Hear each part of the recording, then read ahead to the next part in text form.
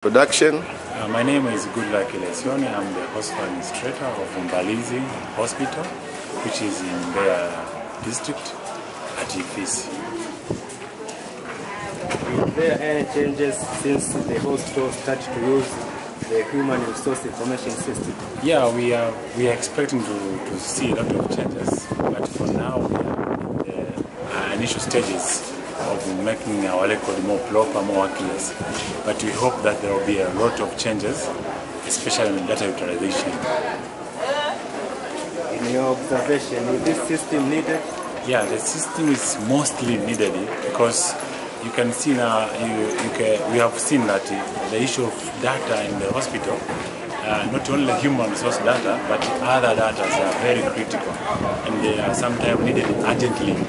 So for that matter, we need a software or a system which can give you uh, information more clearly, more urgently, and if possible on time.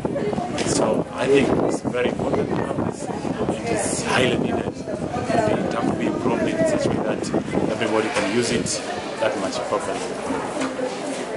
Is the hospital planning to make this system sustainable? Yeah, really, for sure, the hospital is in high demand of the system, and we are expecting to strengthen it so as we can have some people who will be updating currently, uh, frequently, regularly, so as you can have update information.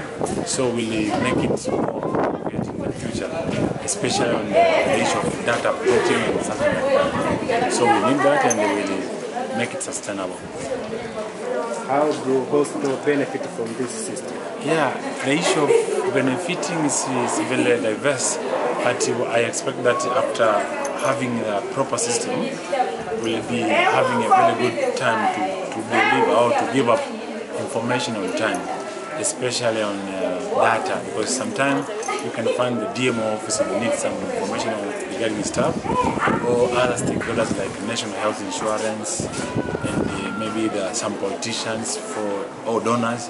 So we think and we hope that after finalization of this data, uh, utilization of it will be of great concern. So I think it will be proper to, to make it, uh, I mean, to, to update information and to use it frequently to different people. Thank you. You?